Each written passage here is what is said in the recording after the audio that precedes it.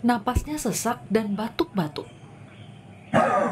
Dua harimau kebun binatang Ragunan, Hari dan Tino, terpapar COVID-19. Kini keduanya diisolasi dan masih dalam perawatan khusus. Gubernur DKI Jakarta Anies Baswedan minggu siang menyempatkan menjenguk dua harimau ini. Anies mengatakan kondisi kedua harimau Ragunan ini kini sudah membaik.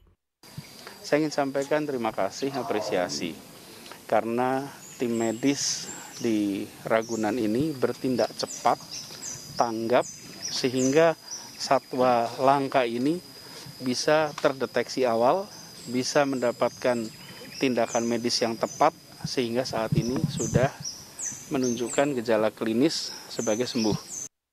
Kasus satwa terpapar COVID-19, terutama harimau dan singa, tidak hanya sekali ditemukan.